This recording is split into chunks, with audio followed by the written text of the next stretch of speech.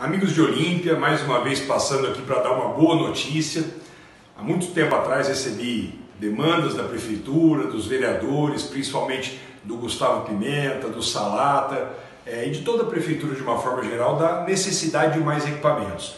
Através de uma emenda de bancada paulista, com apoio do governador João Dória e do vice Rodrigo Garcia, dentro de 15 a 20 dias, a Olímpia está recebendo um caminhão basculante para ajudar na frota, renovar a frota do pátio da prefeitura, ajudar nas estradas rurais, no transporte de terra, enfim, na melhoria da cidade de uma forma geral.